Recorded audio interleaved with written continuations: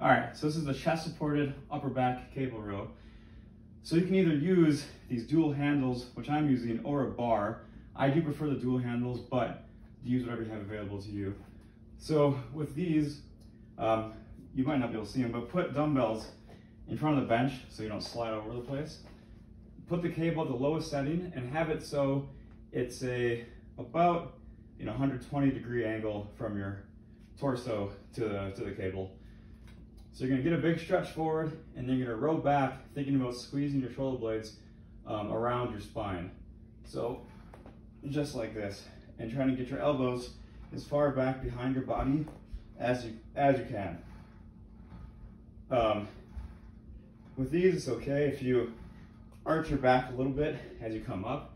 You just don't want to arch back excessively and pinch your low back. It's more about arching your upper back versus your lower back like that. And that's basically all there is to it.